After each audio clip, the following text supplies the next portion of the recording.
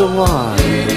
I'll gaze into your eyes divine to feel the warmth of your lips pressing.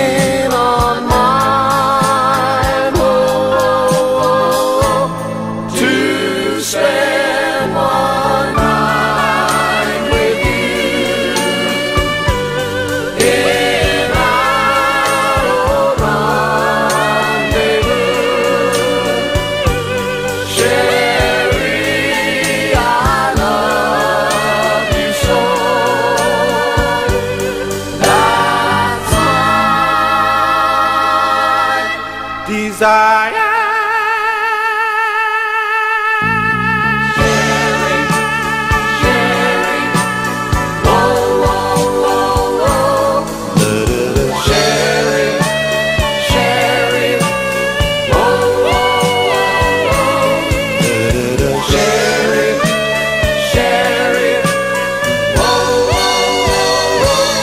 da da da